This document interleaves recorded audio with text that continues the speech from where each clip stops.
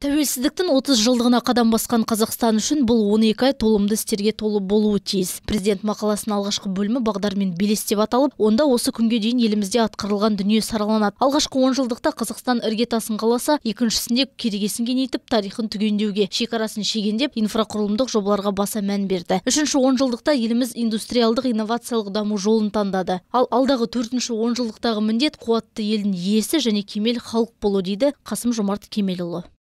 Біз әділетті қоғам мен тиімді мемлекет құруды көздеп отырмыз. Кез келген істе әділдік қағидатын басшылыққа алсақ бұған анық қол жеткіземіз. Мысалы тұрғындардың тұрмысын жақсарта түспесек еліміздің жетістіктері мен халықаралық табыстарын мақтан ету артық.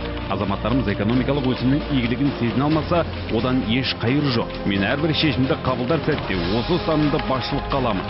Біз халықтың әлеуметтік жағдайын жақсартумен қатар барлық азаматтардың мүддесін бірдей қорғаймыз.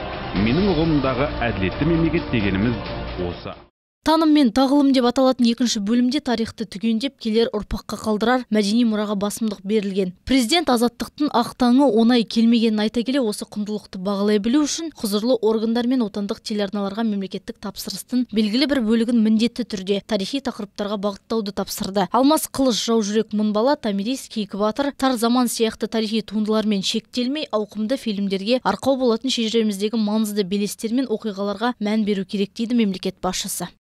Көркем және деректі тарихи туындыларда мемлекеттілік және мемлекетшілдік идеясы әрдайым көрініс табуы қажет. Біз кезінде елге қызмет етудің озық үлгісін көрсеткен алаш қайраткерлерінен тағылым аламыз. Олар өткен ғасырдың басында тәуелсіздік идеяларын халық арасында дәріптеуге зор еңбек сіңіріп азаттық жолында құрбан болды. Тәуелсіздігіміздің мерейтойы аясында осындай біртуар тұлғаларды еске алып олардың мұрасын жастарымызға және бүкіл әлемге паш етуіміз керек. Сонымен бірге осы тақырыпты зерттеп жүрген ғалымдар мен жазушылардың да еңбегі қолдауға ие болуы және бағалануы қажет. Алаш арыстарының асыл мұрасын игеру жалғаса беруге тиіс. Тарих демекші 1921-1922 жылдардағы алапат ашаршылықтан бері 100 жыл өтті. Дегенмен бұл нәубет құрбандарының санына қатысты әлі де нақты ақпарат жоқ. Тарихымыздың осы ақтаңдақ беттері әлі күнге дейін жан жақты зерттелмей келеді. Тіпті ғалымдардың арасында ашаршылық құрбандарының нақты саны туралы ортақ пайым жоқ. Ала деректер және оның себеп салдары жайлы әртүрлі көзқарастар қоғамды адастырды. Тиісті тарихи құжаттарды жиналған мәліметтерді аса мұқият зерделеу керек білікті мамандар жүйелі зерттеумен айналысып соған сәйкес ашаршылық мәселесіне мемлекет тарапынан баға берілгені жөн. Біз бұл күрделі мәселеге ұстамдылықпен және жауапкершілікпен қарауымыз қажет. Жалпы тарихи зерттеулерді ұраншылдық пен даңғазасыз таза ғылыми ұстаныммен жүргізген дұрыс. Президент бұл мақалада бодандық бұғауынан босауға атсалысқан желтоқсаншылар жайында көтерді. Биыл бұл оқиғаға 35 жыл толғалы тұр. 1986 жылы өрімде ұл қыздарымыз кеңес одағының қаһарынан қаймықпай ұлт намысы үшін алаңға шықты. Осы күннен соң тура 5 жыл өткенде тәуелсіздігімізді жариялауымыздың символдық мәні бар. Бұл орайда азаттықтың алғашқы қарлығаштары желтоқсан қаһармандарының азаматтық ерлігі лайықты бағасын алып жоспарлы түрде насихатталуы керек.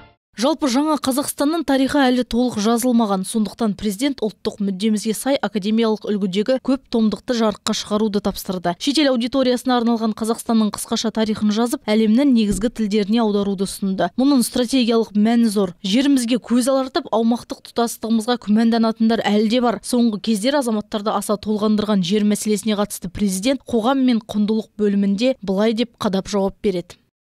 Аумақтық тұтастығымызға күмән келтіріп тату көршілік қатынастарға сынақ қаққысы келетін кейбір шетел азаматтарының арандатушылық іс әрекеттеріне ресми және қоғамдық деңгейде тойтарыс бере отырып ағартушылық жұмыстарын ұстамдылықпен жүргізген жөн. Біз ұлттық мүддені аспен де таспен де қорғауға дайын болуымыз қажеттігін тағы да баса айтқым келеді. Яғни бабалар қанымен алаштың жанымен осы күнге дейін сақталып келген қазақтың жеріне нұқсан келмейтініне президенттің өзі кепіл болып отыр. Жерге байланысты бәріміз айқын білетін және бұлжымайтын ақиқат қазақтың жері ешбір шетелдіктің меншігіне берілмейді ешқашан сатылмайды. Осыны әр азаматымыз санасына берік сіңіруі қажет. Келесі жылы жер кодексінің жекелеген нормаларына қатысты енгізілген мораторийдің мерзімі аяқталады. Ауыл шаруашылығы мақсатындағы жерлерді айналымға енгізіп халықтың игілігіне жарату өте маңызды мәселе. Сондықтан биыл жер мәселесі жөніндегі комиссияны құрып соның аясында бір байламға келген жөн. Президент барды бағалауға да шақырды. Жер қадірін жалан ұранмен өлшемей көкжайлауға от жақпай көбей тұзды лайламай әр тоқымдай жерді көздің қарашығындай сақтауға үндеді. Қоғамда үнемі қызу талқыланатын тағы бір тақырып қазақ тілінің мәртебесі. Бұған қатысты да президенттің пайымы мығым. Мемлекеттік тілді білу қазақстанның әрбір азаматының парызы. Міндеті деп те айтуға болады.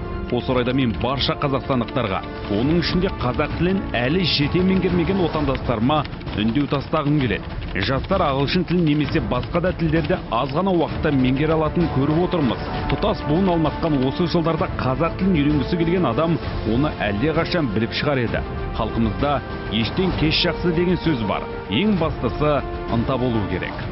Ал мақаланың соңғы төртінші бөлімі ұлағат пен ұстаным деп аталып азаматтық қоғамды дамыту мен саяси реформаларды жалғастыруға арналады. Білім мен біліктің дәуірі 21 ғасырда қазақ халқы да технологиядан қалыспай әр адам өзін жетілдіріп жаңа кәсіпті игеріп ел дамуының басты қозғаушы күші болуы тиіс. Ал ондай азаматтарға қамқор болу мемлекеттің міндеті. Тәуелсіздіктің құрдастары орда бұзар отыз жасқа келіп отыр. Сондықтан президент талантты талапты буынға сенім артып отыр. Ал басты ұран тәуелсіздік бәрінен қымбат деген ұғым болмақ.